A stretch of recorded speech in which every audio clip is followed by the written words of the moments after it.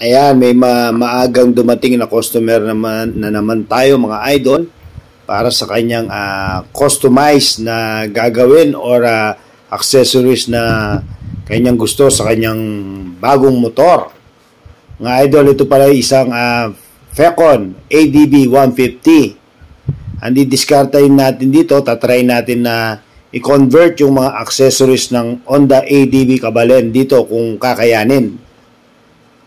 Samahan nyo ko mga idol para ating uh, sukatin or uh, kung ano yung magiging uh, maaaring ikabit natin na accessories for ADB 150 dito.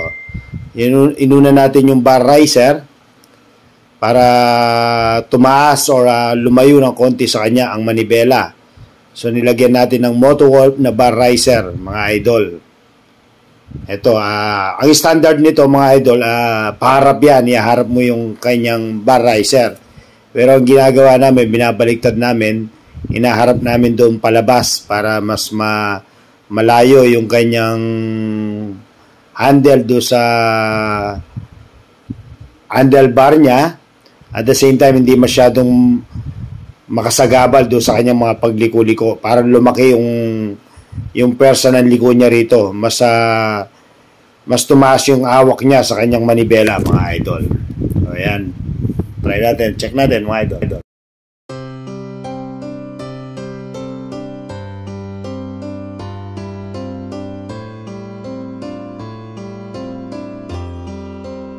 Isang karagdagan pang ilalagay natin yung uh, handle, uh, handlebar protector or uh, yung magiging cover niya dito sa harap ng kanyang hand grip or manibela.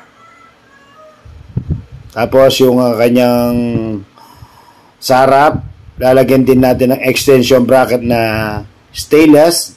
May kasama ng bracket para sa cellphone So, tatry din natin for on the ADB nito mga idol, tatry natin kung kasya to para doon sa visor yan, para umangat. Ayan. Ilagay na natin mga idol. So, kasya-kasya, pwedeng ipit. Konting adjust, konting tulak lang para ma mailagay natin yung kanyang stock na visor. So, kita nyo, ADB 150 Fecon. Tapos, lalagyan din natin ng slider para sa protection sa konting slide, yung hindi naman na uh, persado pero kahit paano nakakatulong. Sa ilalim ng ano to, uh, pipe, nakakatulong dito sa pipe in case na medyo bigla ang baksak.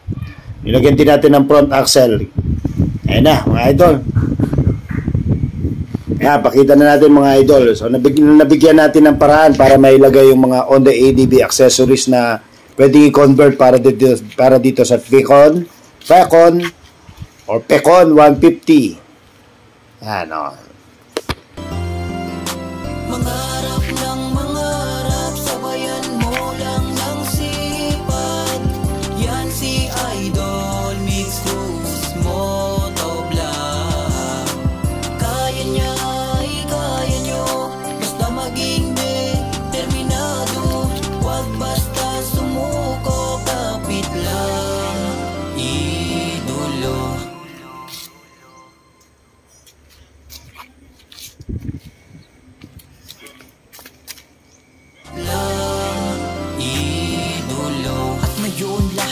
kanyang paghihirap ay biglang nagbunga. Meron na siyang motor shop. At ngayon isa na rin